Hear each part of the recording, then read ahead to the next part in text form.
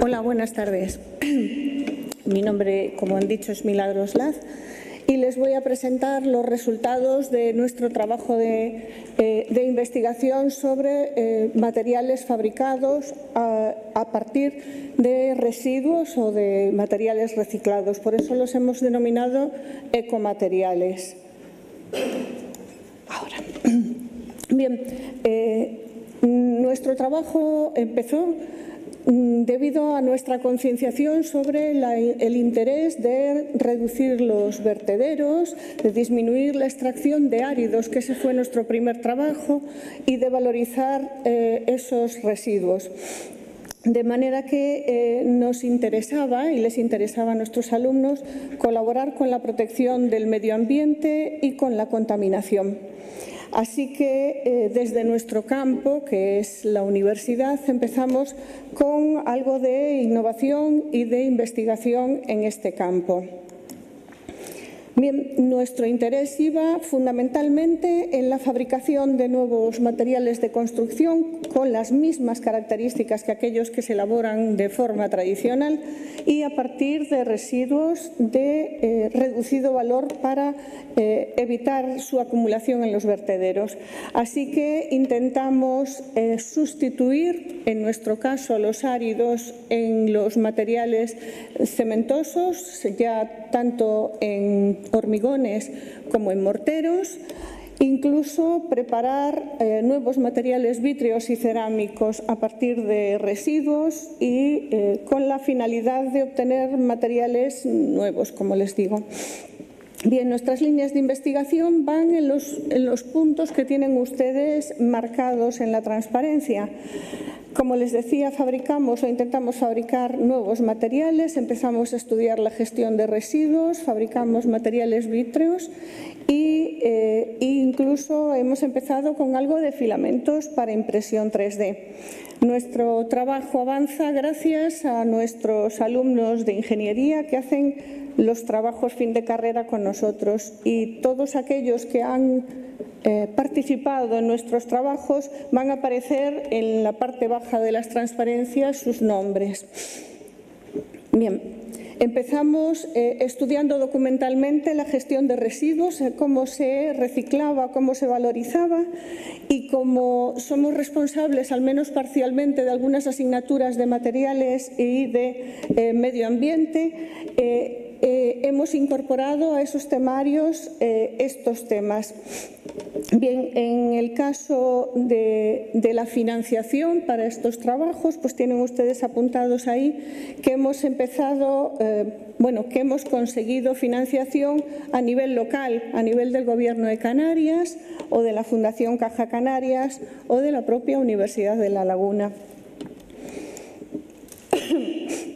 Estos son los resultados de un trabajo de fabricación de materiales vítreos y vitrocerámicos a partir de residuos de construcción y demolición de tipo mm, pétreo fundamentalmente, de corte de piedra natural y de tratamiento de lodos. Hemos procesado esos materiales, eh, como ven en la, en la, transparencia, se trata de una fabricación que implica fusión, por tanto muy costosa, que debe ajustarse muy bien y en la figura eh, del medio, en esta figura, Ven ustedes un espectro de difracción de rayos X en donde la línea de abajo corresponde al material amorfo, es decir, al vidrio que hemos obtenido y después de un tratamiento térmico hemos conseguido cambiar las características de ese material amorfo a un material cristalino que es el que aparece en este en este espectro superior. Ven ustedes las diferencias entre ambos, es decir, el tratamiento térmico funciona y se obtienen materiales con características muy especiales. Nosotros lo que hacemos es caracterizarlos mecánicamente, fundamentalmente. Ven ahí los resultados de dureza y de los ensayos de flexión. En el caso de la dureza, perdón, me he confundido, aquí. En el caso de la dureza ven dos señales muy diferentes. La de la izquierda corresponde al ensayo realizado sobre el material vítreo.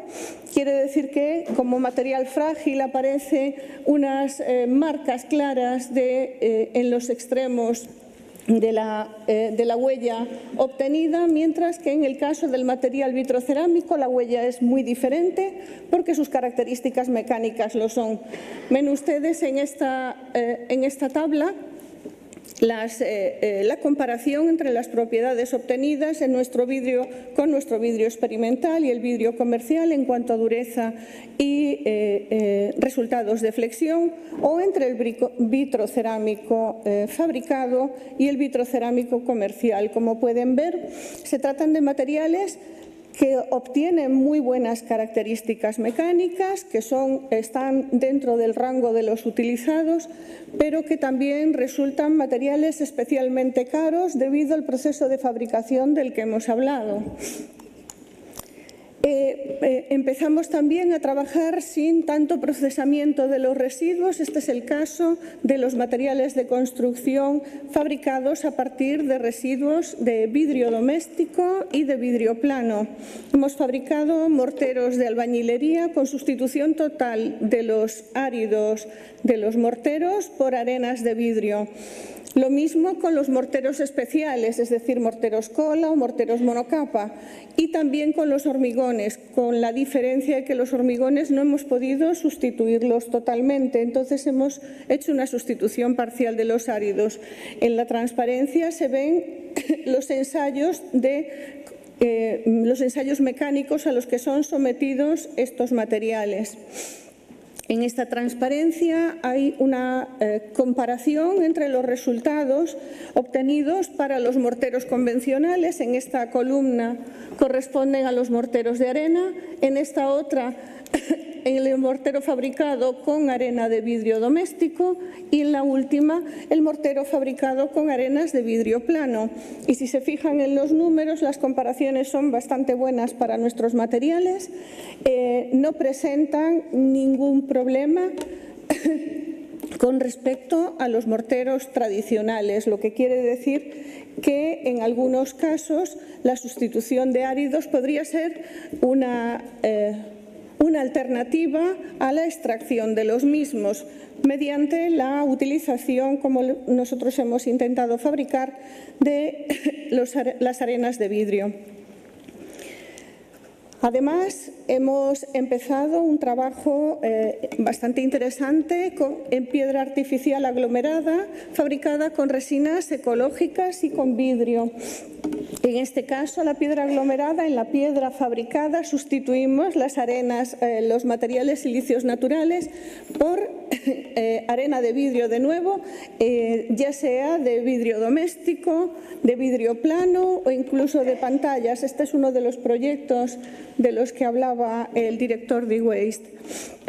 Eh, eh, involucramos en este caso eh, resinas para aglomerar el material. En nuestro caso hemos utilizado resinas que les llaman eco ecoresinas, lo cierto es que hasta ahora solo encontramos resinas que en un 50% provienen del mercado vegetal. Si ven las comparaciones entre, entre nuestros materiales eh, fabricados, la piedra eh, natural, es decir, el mármol blanco de Macael y la piedra artificial de Cosentino, verán que eh, obtenemos resistencias muy buenas, todavía no son comparables a las, de Cosentino, pero eh, estamos en el buen camino. Seguimos trabajando con estos materiales.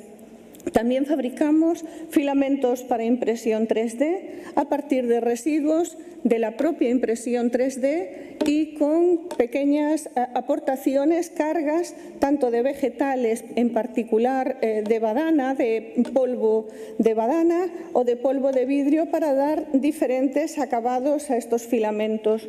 Nuestros resultados iniciales son bastante buenos. Todavía está sin terminar el, el trabajo. Sí. ¿Perdón? Ah, no, no, gracias. Bien, eh, somos un grupo de investigación muy pequeño de Ingeniería de Materiales de la Escuela de Tecnología e Ingeniería de la Universidad de La Laguna. Eh, somos solo tres profesores, los tienen apuntados en la pantalla, José Miguel Cáceres, María Hernández Molina y yo misma. Y pertenecemos al Departamento de Ingeniería Industrial. Aunque somos muy pocos y hemos empezado hace poco en este tema, hemos eh, trabajado anteriormente con otros grupos más fuertes, más, eh, con más trayectoria, en, con MacMol y con GESLAB en concreto. Bien, nuestro grupo de investigación, que como les digo es pequeño, eh, está dispuesto a colaborar en proyectos multidisciplinares con todos aquellos que tengan los mismos intereses que nosotros en la eh, fabricación de materiales a partir de residuos, en el desarrollo sostenible o en la comercialización de esos productos. Y también nos interesan todos aquellos grupos que quieran o puedan eh, realizar la caracterización de estos materiales que a nosotros en algunos casos se nos escapa. Por último, decirles que colaboraríamos gustosamente con los grupos que puedan necesitar nuestra aportación en aspectos que son los que tenemos más dominados, que son la caracterización mecánica de los materiales o la caracterización microscópica. y sin más, darles las gracias por atenderme.